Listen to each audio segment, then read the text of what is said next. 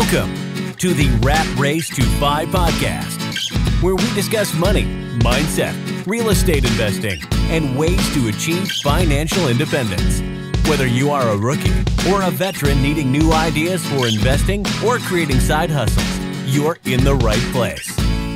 Here to challenge you to think out of the box, your hosts, Felipe Mejia and Diego Corzo. Diego, what's up, dude? How are you? What's up, Felipe? Excited that you are back. Oh man, I know COVID really kicked my butt. Uh, today we have a very special guest, a good friend of mine. Uh, her name is Cristina Mineo. She's done three and working on her fourth flip in Atlanta. But what's really cool is the creative financing, the letter she had to write to the uh, to the city of Atlanta to get her second property, a hundred thousand dollar flip on her third property, uh, and all the struggles that she said she's had to go through to do this. Yeah, no, it, it's it's really cool, and one of the main things that I took away from this podcast was the importance of, of having the right team. We mentioned this a lot, but your investor friendly realtor, your lender, and the contractors at work can make or break a deal. I agree 100%. She crushes it. Let's get right to it. But right before that, let's uh, talk real quick about our sponsor. Hey guys, if you want to skip where the pros skip, uh, skip trace their information, make sure you go to skipbetter.com. And for 11 cents, you can skip trace and pay only for the results that come back. Cool. Let's get to Cristina. Cristina, welcome to the Rat Race to Five podcast. We're super excited to have you. I'm super excited because I know some of the behind the scenes, uh, not the full story, so we're super excited to have it. Diego, if you don't know, Cristina is an awesome entrepreneur in Atlanta. Uh, she's flipping properties out there, but we'll let her tell her story. Cristina, tell us who you are, 30,000 foot view, what you do, and uh, we'll go from there. Well, thank you for having me on. Uh, my name is Cristina. I'm 30 years old. I grew up in New York, but we moved to Atlanta almost three years ago. It's about two and a half years now. And we came to Atlanta to start investing in real estate, my husband and I. And so I'm designing the projects financially, designing them physically, like the kitchens. Um, and then I'm self managing the ones that we have too and looking for new ones all the good things. I'm just running that end of the business for us. Oh my gosh. So you came from you came from New York and moved down to Atlanta. You said you guys did uh, did that for real estate. So tell us about that. How was that shift? Uh, actually, before we do that, we'll we'll let the audience kind of cliffhanger there. Did you go to high school and and uh, and or if you went to college in New York, or kind of give us some backstory there? So I'm born and raised in New York, and I went to high school and college up there. Um, so yeah, during high school, I was kind of like a quiet, shy kid that just stuck my head down and got straight A's because I'm Puerto Rican, but I went to a major- majority white school. And it was just very clear that I did not fit in and belong. We'll put it that way. so I just didn't interact with many people and was like getting things done that I needed to. And I started working at a pretty young age too, at like 14. Um, and I feel like that's a common story in a lot of children of immigrants that you just where, start where working work? young. Well, one of my first jobs was like at the mall.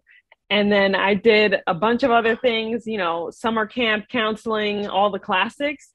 And by the end, I was working at Panera, which was by far my favorite job and most Oh, really? delicious. yeah. Maybe I should get my wife to work at Panera so she stops spending the money there. Like that would be great. I feel like I at It's least so want good. to. Get, that's so funny.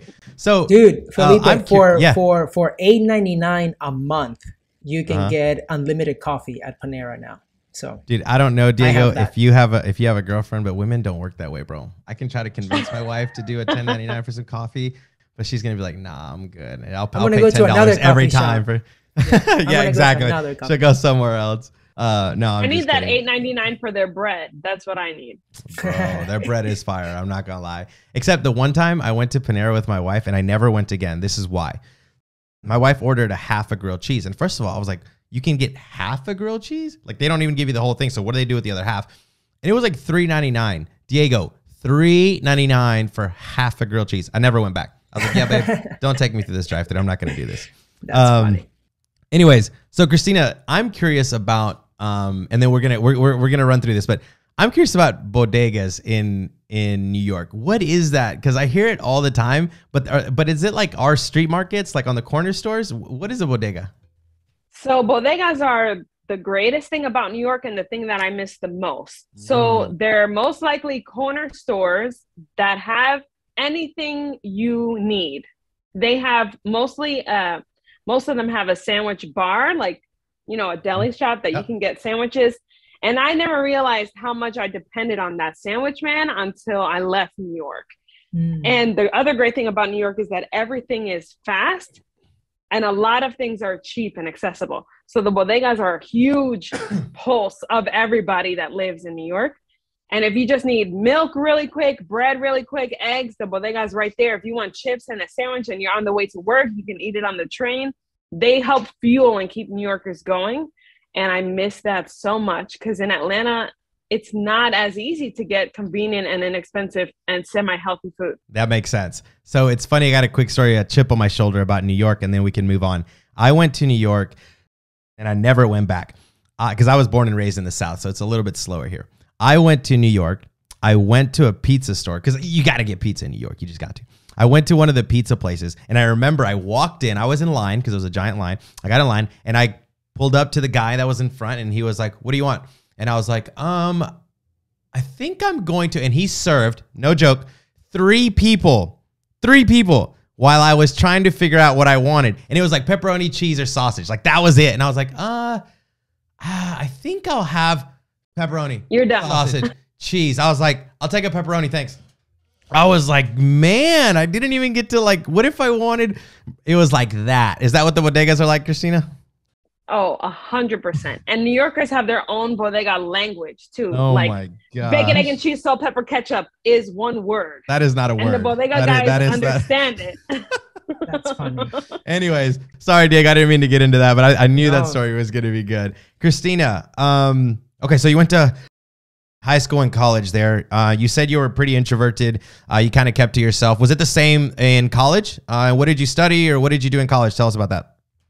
in college, I branched out a little bit more because in college, I made friends with more people who were like me, Mm. but it was still the same grind. I went to school part time and worked part time through college. So it took me six years to finish my bachelor's. Um, and I was paying my own way through college and helping my parents with some bills. Good so it was a lot going on. Thanks. Yeah.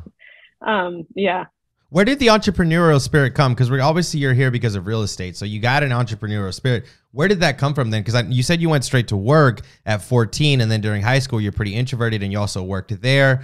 Um, college, you put yourself through college as well as helped your parents. So it sounds like you've always had a job. So where did the entrepreneurial spirit uh, come from? That's a great question. So, my husband is a recording artist and he tours and travels for most of his living.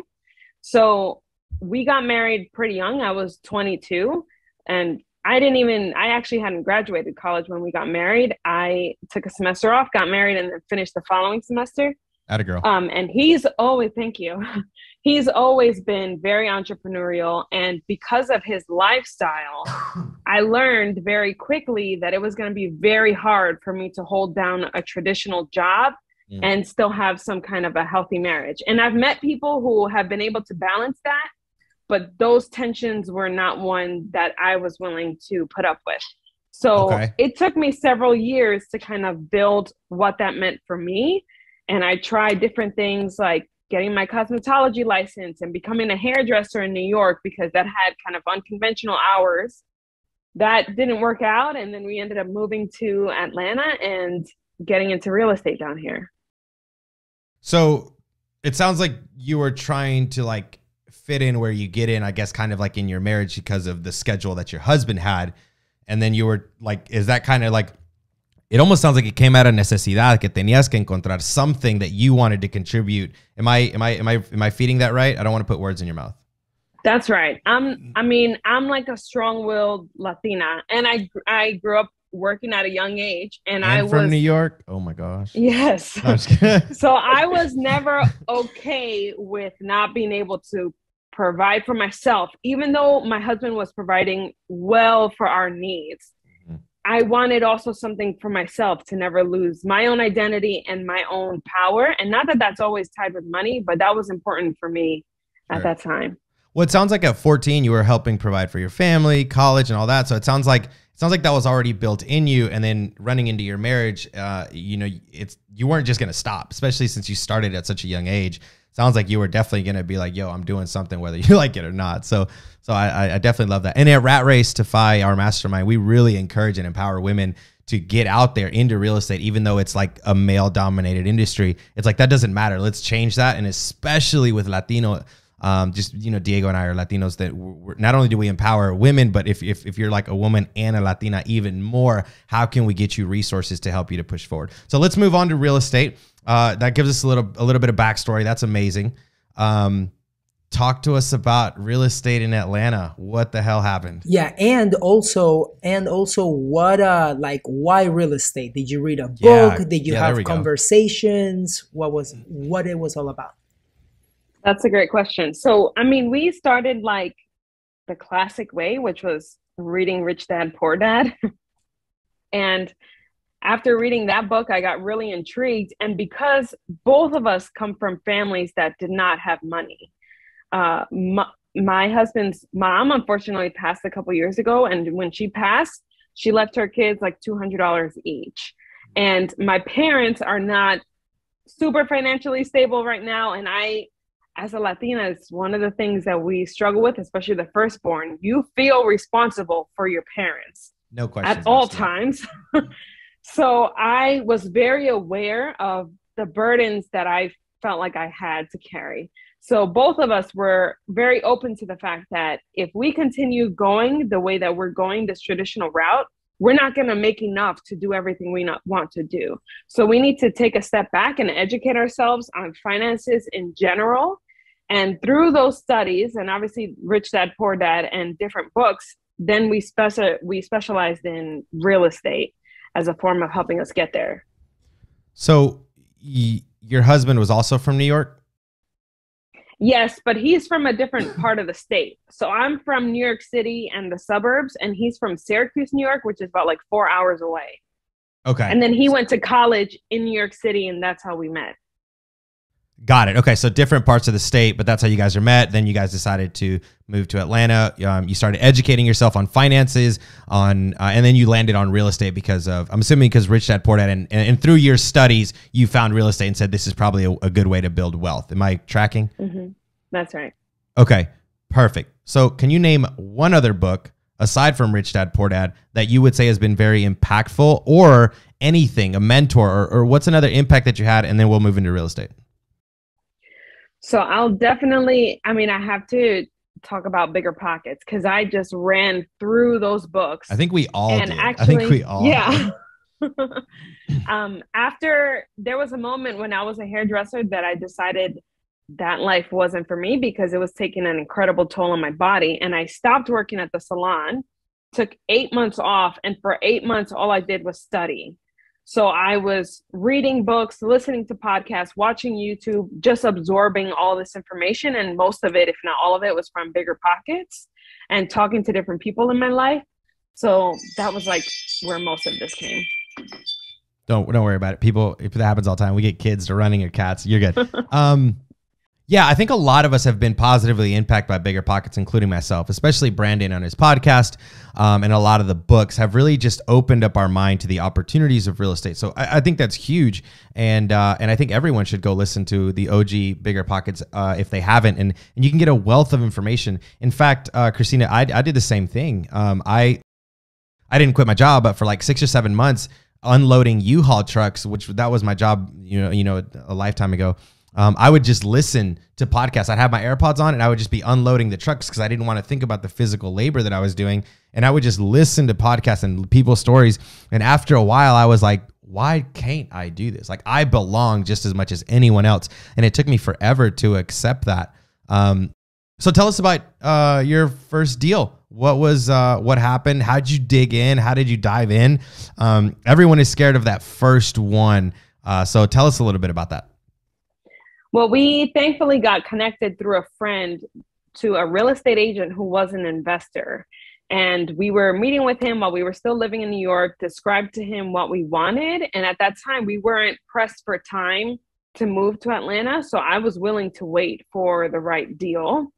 Okay. And I calculated a bunch of parameters based on how much money we were gonna have for the down payment, and I kind of worked backwards. So I was like, okay, if we're gonna, we financed it as a primary residence because we were planning on moving into it and then eventually moving out.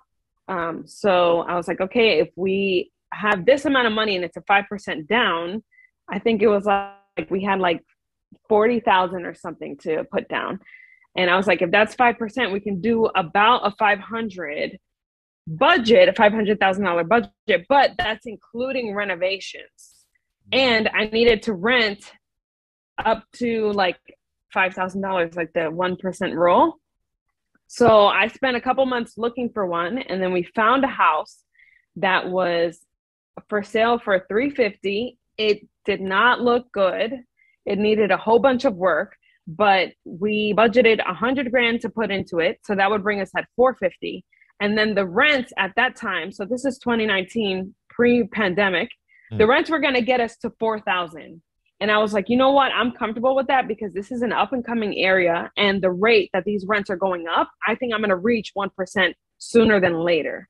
And then thanks to the pandemic, that happened way faster than anybody was anticipating. But so the loan that you got for your first, it was a, it was a flip, right? You had to, you had to upgrade the property and rehab it, right? Okay. You had to rehab it. So you got a primary. So was it a 203k loan? What was the loan structure that you got that would include rehab in the price? Because I think you said that you had to get the rehab in the. So was it a 203k loan? Do you know what kind of loan structure you got there? So it wasn't an FHA loan, but it was a product from the lender that I had that was basically based off of a 201 3k loan. So it was yeah. their own product, but it wasn't an backed by the government. Oh, but okay. it was a they called it a rehab loan that they would just lump the rehab in with the purchase price at the same interest rate as long as everything checked out for them, which it did. And it was also owner occupant then. That's right. As well. But you didn't move in right away, right? You didn't move in while the rehab was going on? No, no, no. So did we, they give you a time we, frame to move in or no? No? Okay. I mean, so, I think I had to keep on in touch with them about kind of what was happening and when sure. we were able to move in, but they weren't giving me pressure. I just had to keep up, keep them in the loop. So then the rehab budget came out of the loan. So I'm assuming contractor come in, does X amount of work, you go to the bank and get him a check. Is that kind of how that worked? So the bank would do the draws. So yes. there would be inspectors that would have to come out at certain points. So it's more burdensome on the contractor, but it's better for me as the investor because they have to really work with the bank on how things are done and the timing that they're done. And the bank is way more specific about certain things, and then they'll add their inspections and then they release the draws. So also, they don't get paid as quickly as if it was me with cash. So tell us how hard it was to find a contractor that was willing to do that because I wouldn't have done that. so well, thank thank God that with the connections that we made here and the agent that I mentioned before, he became a close family friend of ours and he gave us one of his contractors because at the time he didn't have a job for them and they're not on payroll, but he's one of their guys that he uses all the time and he's a developer. So they didn't have a job right now and they were like willing to take it. And again, this is like pre pandemic because it's a whole different world now. Yeah. What's interesting too about that is like you just mentioned three really key players for anybody that's investing in real estate. And that's something that some people may skip or they may miss or not put as much importance into it, which you mentioned the words like it was an investor friendly realtor, the lender that had the right program for you, right? And that goes by asking the right questions and working with the right lender and bank and then the contractor. And the contractor gave, like, it was a connection through your investor friendly realtor.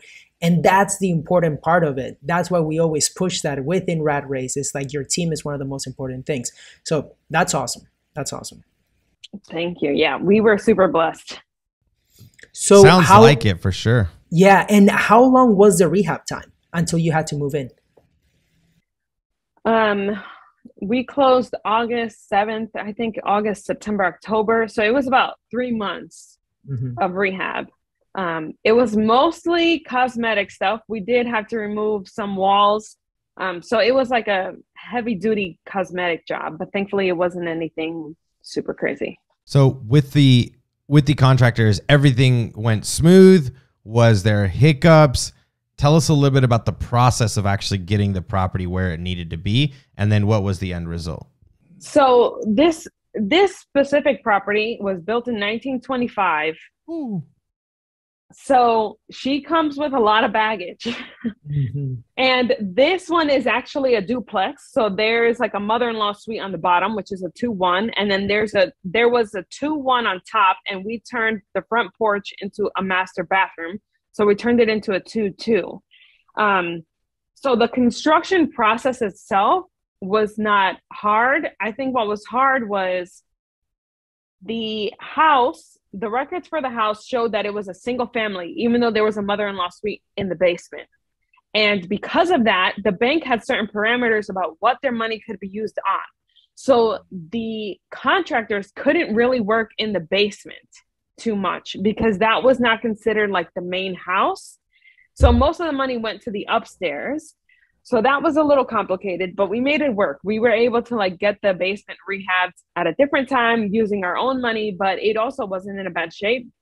I actually just recently found out that that um, property is legally a duplex, but someone at some point dropped the ball on how the city is recording this and the post office. So I have the fun task of untangling that web, but we're making it work. Now, are you are you currently in that property now that you've rehabbed? That you rehabbed? No, we have since uh, we bought that one in August of 2019, moved in October of 2019, and in March of 2020, we bought a crack house. okay. Man, I, I can't wait to get into this story. Yeah, yeah. First of all, your husband's a saint. I mean, Jesus, this is this is probably one of those like fun stories where like my wife is like, "Hey, I got a project for us," but Cristina comes home and says, "Hey, we're gonna buy a crack house." So we're gonna get into that. So stick along for the ride. But before we get there, let's finish on the rehab. So you finished the rehab. Did you have to refinance into another loan? Did the loan roll over? Did the loan stay the same? Everything is done. You just it just the the rehab was done, and then that's it the rehab was done. The inspector comes from the bank, gives the con- contractors their last straw. Everybody's happy, and the loan remains the same. Okay. Which so, at that point, I think it was like a four point something interest rate. Okay. So then you moved into it for a little while, and then you satisfied the the, the amount of time you have to be in the house, and then you bought a crack house.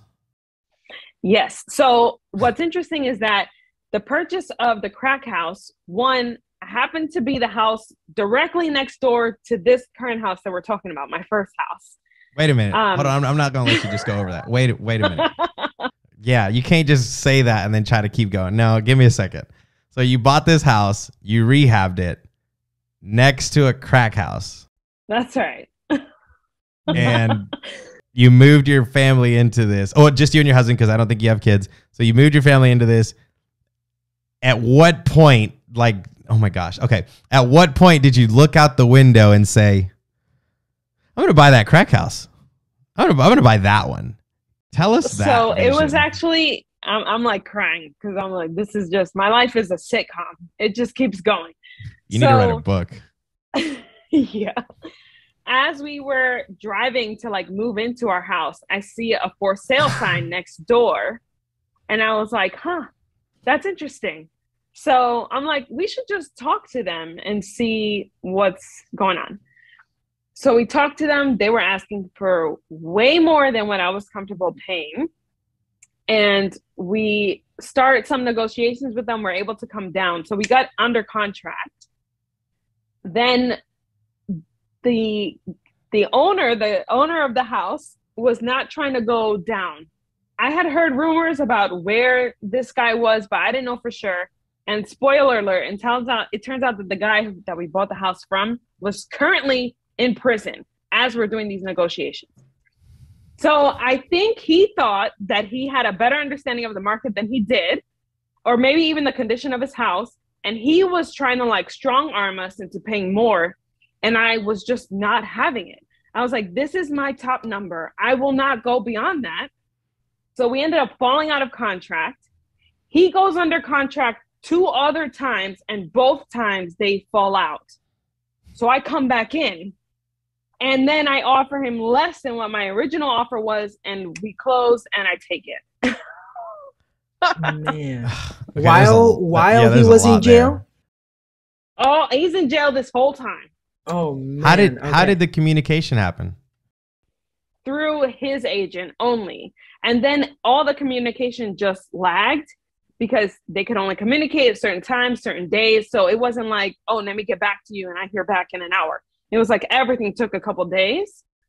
Um yeah, it was a wild so ride. The power of negotiation is, is, is huge here because one, you didn't. It's it, maybe you did behind closed doors, or maybe you didn't. But it sounds like you didn't get emotional about this property, and you just stuck to your numbers and your guns, and you were like, "This is what I can do. This is the only thing I'm gonna do, whether it goes in or out of contract."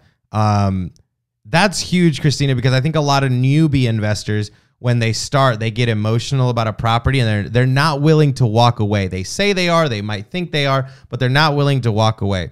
We're gonna move on, but really quick, what was the mindset behind of like I'm not moving from my purchase price?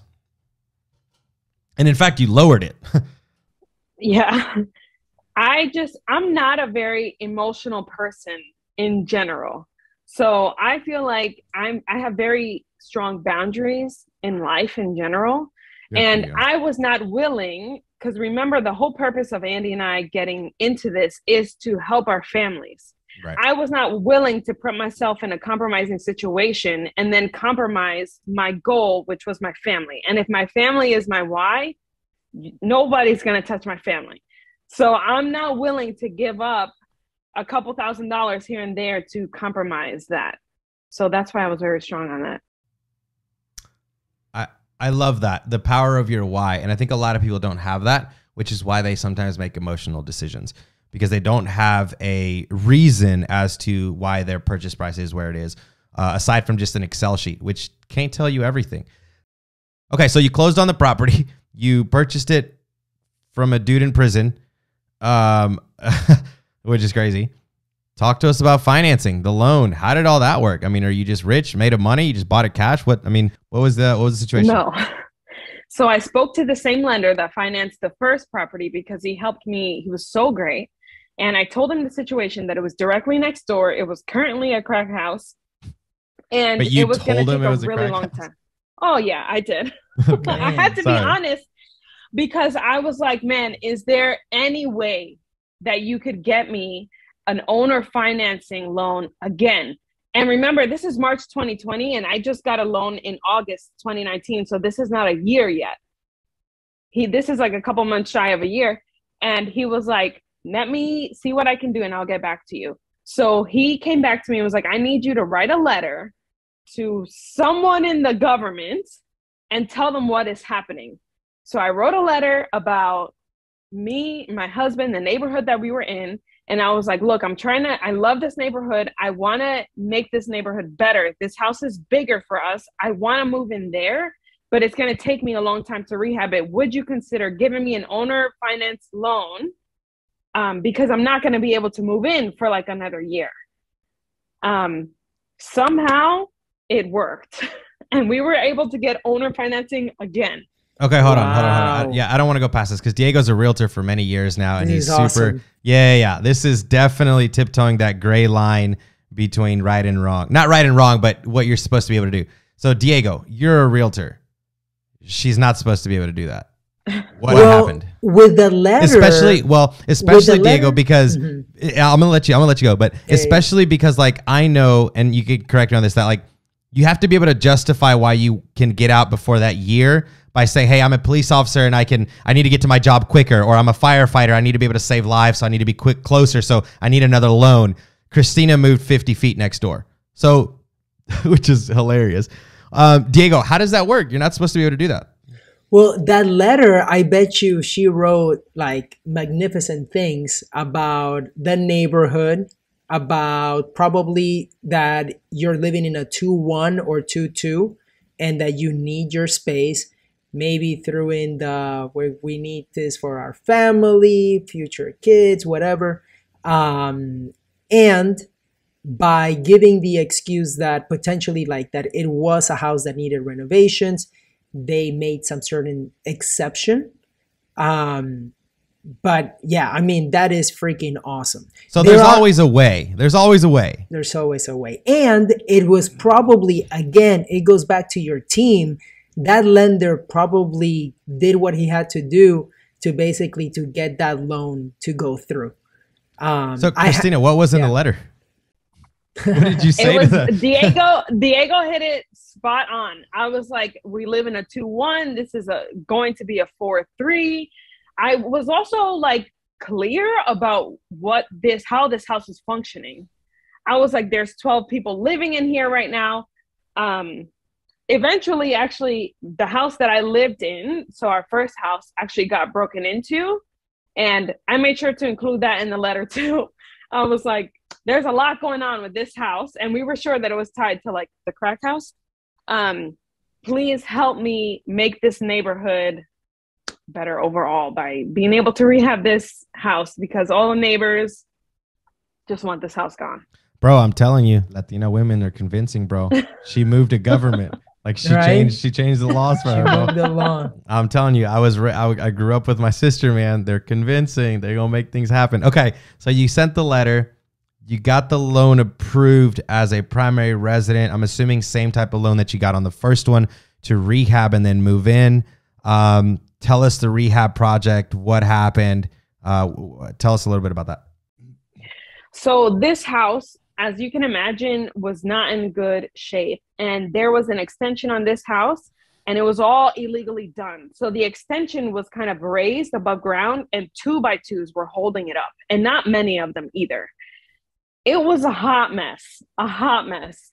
Um, and it just smelled so bad when you walked in. It was awful. And the lot was not big enough for a larger, like a developer, to come and tear it down and build something else. So the lot was not huge, but the house was in really bad state. So a regular homeowner was not going to want that either.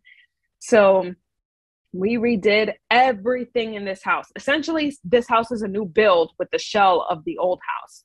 Plumbing, electrical, HVAC, walls, floor, everything. Everything is brand new. And of course, we redid that extension and we made it a little bit bigger and did it all legally. So your first house, the one just next door, I guess you just rented that that one out and then moved into the one you just finished.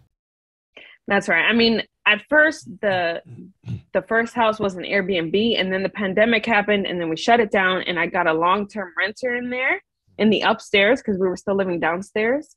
Once the rehab finished, which only happened of March March of 2021, um, we were able to move in and then we got other tenants in the basement.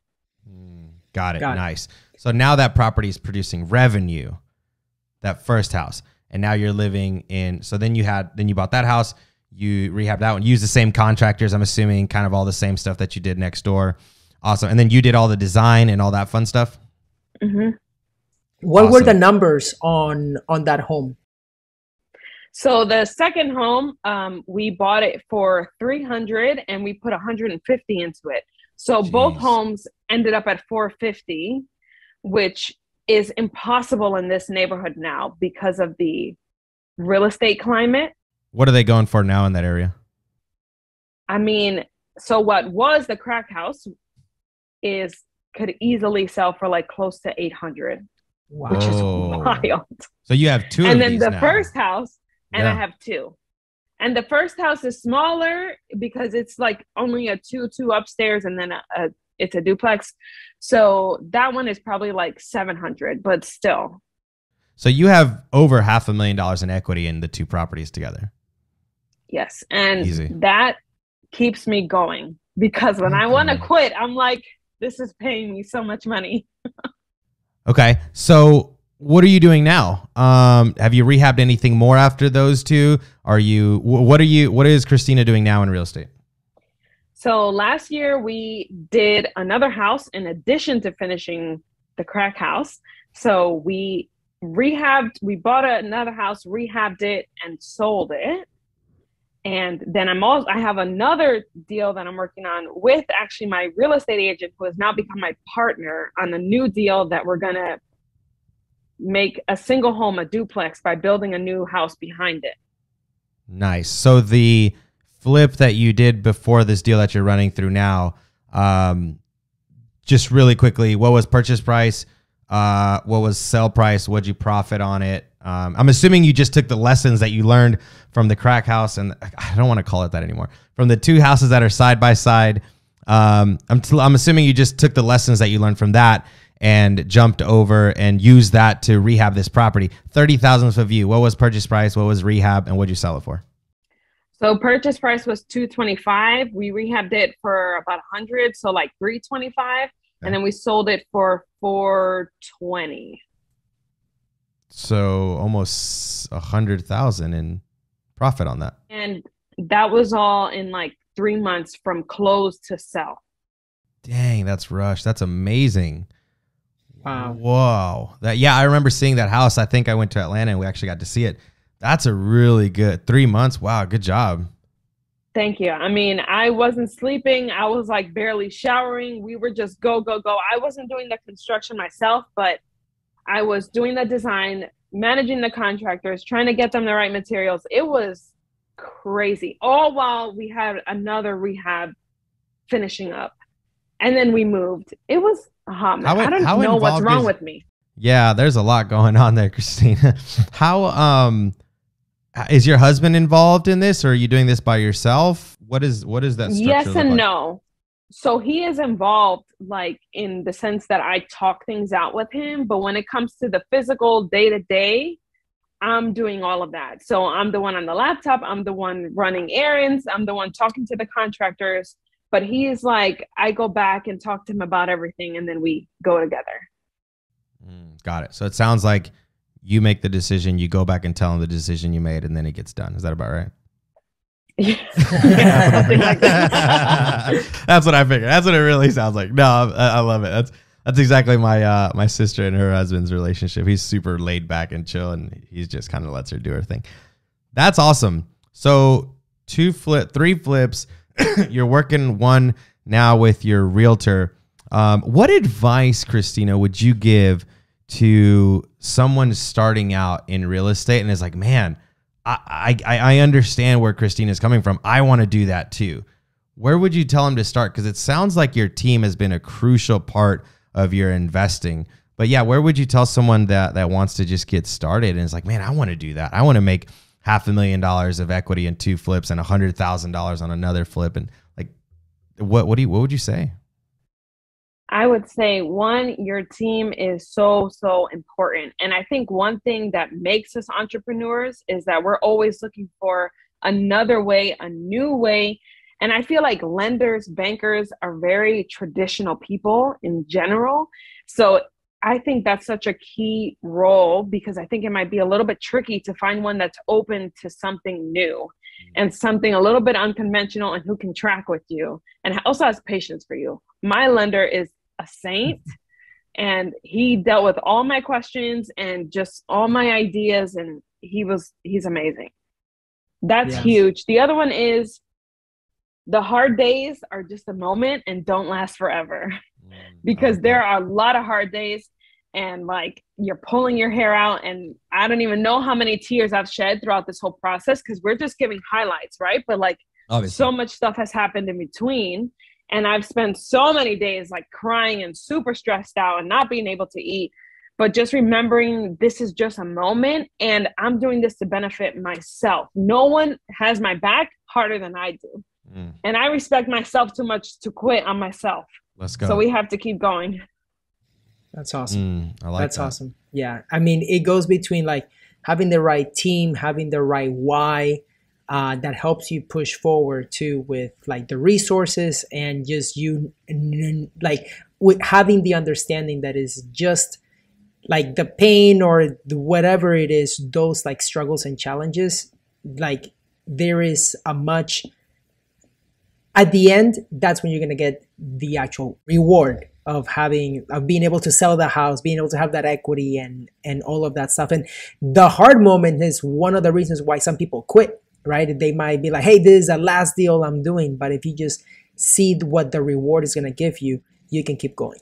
Yeah. Yeah, I think that's huge. Wow, um, there is a lot there. We might have to do a second podcast one day. Um, so, uh, really quick, because we're running out of time. What does the future of 2022 look like for Cristina? What What is your goals and plans this year in regards to real estate? So we're working on this other this fourth project, which is going to take up most of my year, um, and we always have our eyes peeled for another one and we'll see how that goes. But if that doesn't happen, I really want to explore getting into designing homes specifically for investors, like money conscious people. So, not people who this is their personal home and they want all their dreams, like people who just want to be up on the competition a little bit and still be money conscious, but want to have things designed beautifully. I think that's a niche that I'm really loving right now because I help other friends do this. So even though no one's paid me for that yet, I feel like I'm working to be able to give my service. You better send them an invoice. Ain't none of this free. Don't stop playing, yo. Yeah, here's my time. Is what I'm doing. Yeah, and you have a lot uh, of experience too now. Yeah, it so. sounds like it. Yeah, that's yeah. amazing. Um, uh, you did mention earlier that your husband is in. Uh, he's he's in the recording industry and, and things of that. He's not as involved in your projects, right? You're the one that kind of takes over. What does your husband do? So he's a rapper. I told you it's never normal or easy with us. we keep it spicy. So he's a rapper. Oh, I know. I've listened to other here. podcasts. I know. yeah. you know exactly what I'm talking. Guys, go Google Cristina Mineo uh, and go find the podcast that I'm talking about. Sorry, go ahead. What does your husband do? We're unashamed in a lot of different ways in most things about our life. So my husband is a rapper. His record label is also in Atlanta, which is also what brought us down here. And um, so he's constantly making music, going on tour, doing shows, all the things. I love it. I love it. So you um sounds like you're investing his financing to make it grow and you're kind of nurturing that in you guys' relationship and using real estate to leverage your net worth to continue to grow to putting it in a safe spot. Is that am I am I reading that correctly? That's hundred percent right. So he wait um, re- really quick. Sorry, paid, sure. he was during pandemic, so all artists got shut down during that time. Mm-hmm, so mm-hmm. it's not like and you can we have say, employees. And you have employees, so it's not like you can say, oh, I just took money from my husband and that's how we did all this because that's not true because during pandemic no one was working, especially artists. That's right. And that was in the mix. Holy crap, that's a lot of stress. I can see why you said you didn't eat some days because that could be like, hey babe, we're gonna buy this crack house while you're not even working. Like that. That's right. Yeah, that's crazy. That's right. Like, people aren't putting that one and two together. Wow, we have, that's a great story. Um, we have a saying that we ask each other all the time when you have days that you're like, man, I don't know if I can do this. So I'll tell him, Mineo, do you bet on yourself? And he's like, every day. Let's go. That's Let's go. That's how we have to do it. You have get, to like get the shirt okay made. Get the yourself. shirt made already. get the shirt. I love it. I love it.